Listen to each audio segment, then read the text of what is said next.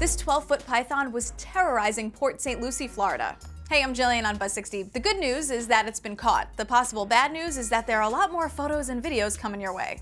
Port St. Lucie police officers captured this 12-foot, 120-pound Burmese python who was making itself a little too comfortable in the neighborhood.